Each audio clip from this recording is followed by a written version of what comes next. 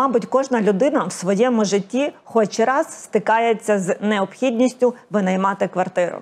Орендоване житло для багатьох буває єдиним прийнятним варіантом в залежності від обставин і власних причин.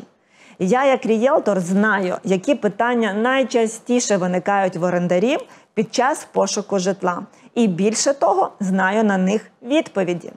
Я Тетяна Кравець, рієлторка і засновниця агентства нерухомості Еверест.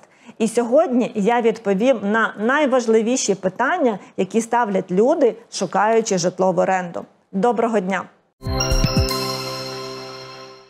Перше питання це право на приватне життя в чужій квартирі. Чи може господар квартири прийти перевіряти своє майно, коли йому заманеться? Чи не заважатиме в несподівані моменти, відкриваючи своїм ключем двері? Відповідь: власник квартири може приходити тільки за попередньої домовленості.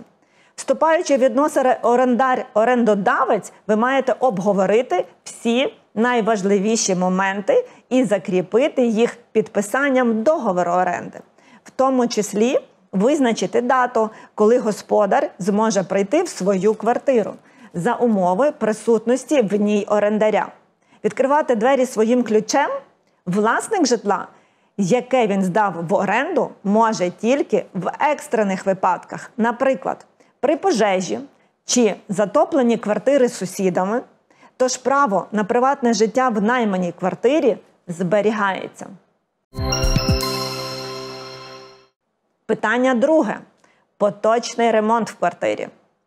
Основні питання щодо стану квартири і охайного ставлення до майна прописані в договорі. Поточний ремонт в квартирі може проводитись лише за згодою орендодавця.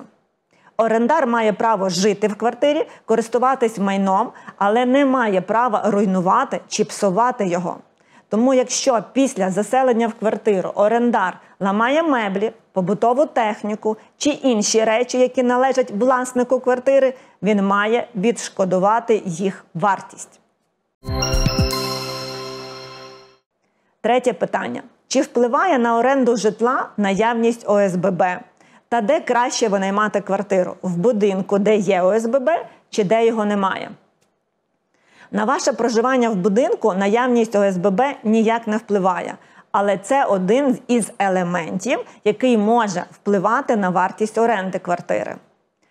Об'єднання співвласників багатоквартирного будинку або ОСББ це приватна установа, в якій більшості випадків вказує, що на території будинку зроблено балагоустрій і підтримується чистота в під'їздах. Будинки, в яких не створене ОСББ, обслуговує ЖКП, це житлово-комунальне підприємство, яке також дбає за стан будинків і прибудинкових територій, але має державну власність. Вартість сплати по квитанціях за послуги ЖКП чи ОСББ відрізняється несуттєво. Ще одне питання, мабуть, найболючіше: пошук житла, коли є домашні улюбленці. На жаль, більшість орендодавців ставлять умову проживання з котиками та собачками заборонено. Особисто я з розумінням ставлюсь до людей, які переселились до Луцька разом з улюбленцями. Адже для багатьох вони як члени родини. Коли тваринка звикла до життя в квартирі, вихована і охайна, можна домовитись з власником житла. Звісно, необхідно врахувати всі ризики псування приміщення та бути готовим до витрат на відшкодування.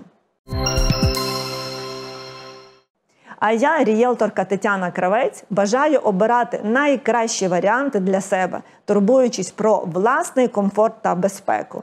І нагадую, я проводжу онлайн-консультації за донат на ЗСУ. Посилання на мій інстаграм знайдете під цим відео.